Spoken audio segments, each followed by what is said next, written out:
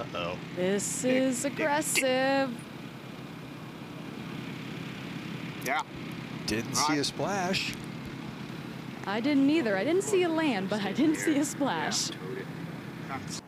Amelia definitely landed inside the hazard line. I, I know that. We're taking a peek at it right now. Hold on one sec. I would say that red stake on the corner, it's about 10 yards to the right of it and halfway between the hazard line and the water. So right where you are, about halfway between the, the hazard line and the water, between you and Ricky.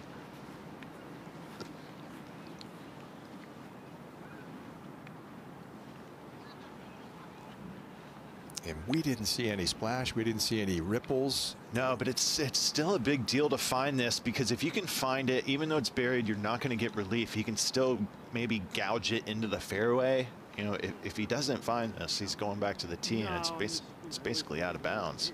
And you're treating it like out Does of it appear that it does it appear that it plugged in this? Oh, it's definitely buried in there. Yeah, it's it's embedded in the Okay. bank. It's right where Ricky is right now, at ish. Just, they said it's right where Ricky is, right in there. They're just, it must have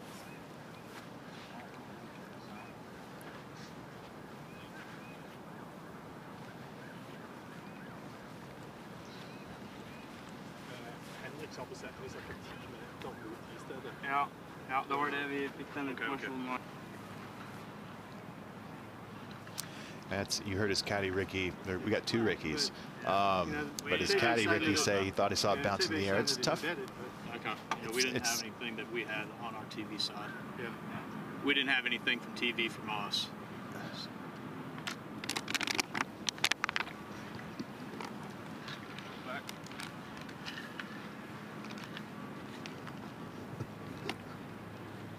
Back to the 6T for a second time. Fowler will do it again. Driver in hand this time.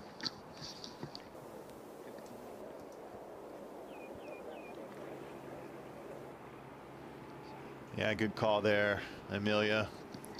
Looks like he held that one off at the bottom, made sure that one didn't go left. Well, that's going to be a tough layup, though, out of that bunker. It is not a gimme. Layup. Just take a take it out towards the bunker on the right. Don't do anything crazy. Make sure you keep your balance. Oh.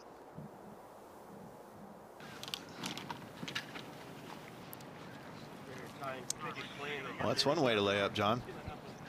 Unintentional, but it's dry. That's right. Fowler making a hash of the sixth at the moment. See, And don't change your emotions. Love the line of the TV tower. This from 229.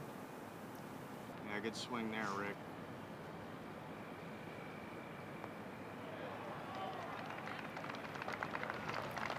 And play on a par five. Just take your medicine and move on.